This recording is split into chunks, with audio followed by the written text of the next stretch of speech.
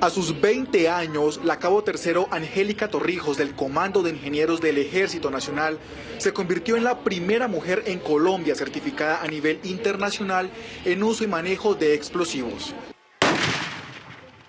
Ella proviene de una familia militar, por lo que el amor por las fuerzas militares corre por su sangre. Mi papá en este momento es sargento viceprimero del Ejército Nacional, también es de ingenieros y básicamente el legado que él deja en la institución es el relevo generacional que vendré a ser yo.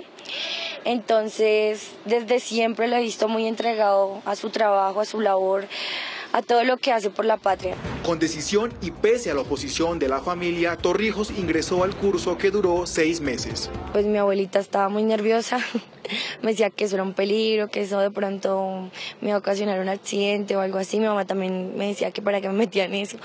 En el curso aprendió a cómo cuidar vidas. Por eso tiene claro lo que significa ser la primera mujer en comandar un equipo experto en explosivos más que un orgullo, es como una motivación hacia las mujeres, porque, o sea, nosotras estamos hechas de berraquera, de, de voluntad, de espíritu, de cuerpo.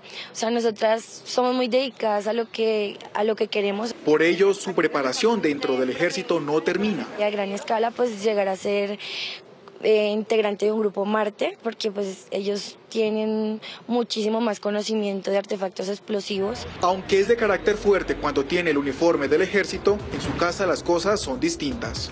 Y de pronto ya en mi ambiente familiar ya sí soy más, más cariñosa con mi mamá, con mi papá, con mis hermanos, con mis abuelos. Entonces de pronto ese es mi lado dulce si está en la civil.